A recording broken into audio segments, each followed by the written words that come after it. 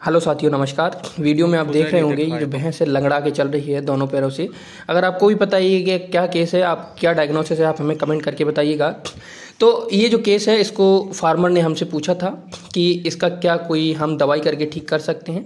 तो उनको बताया मैंने कि ये जो केस है इसमें मेडिसिनल ट्रीटमेंट जो है कोई काम का नहीं है।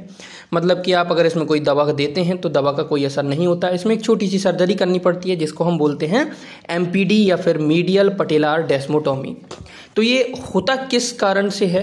तो जनरली ये जो केस है इसको अपवर्ड फिक्सेशन ऑफ़ पटेला बोलते हैं जो पटेला बोन रहता है ये उसकी दिक्कत होती है।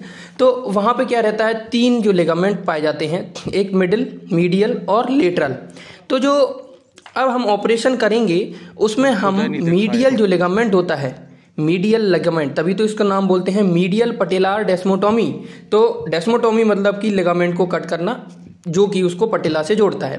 तो हम क्या करेंगे इसमें मीडियल लिगामेंट जो है उसको हम सर्जिकली कट कर देंगे। कट करने के बाद ये जो केस है अपने आप बिल्कुल एक आसानी से ठीक हो जाएगा।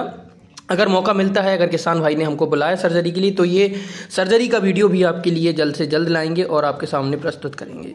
यदि आपको जानकारी सही लगी हो तो वीडियो को लाइक और चैनल को सब्सक्राइब ज़रूर कीजिएगा। आगे भी और बहुत सारे ऐसे ही वीडियोस के लिए हमारे चैनल को सब्सक्राइब करें।